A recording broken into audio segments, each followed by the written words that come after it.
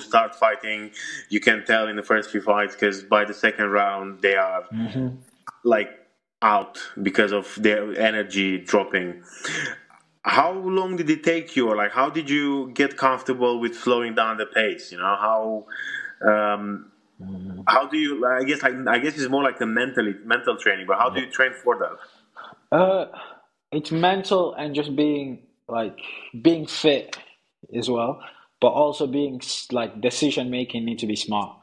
Like my last fight, uh, third round, the guy is starting to he's got me with a couple of shots standing up. I'm tired, he's tired. He's coming towards me, so I just go down, take him down. Take him down, keep him there the whole time. And so I get my breath back. He's working twice as hard. And by the time he stand up, he's knackered. So, yeah, just decision making is important. Just knowing, okay, I'm to hold him here. He can't really do anything here. I mean, I, I'm to the referee, it looks like I'm winning.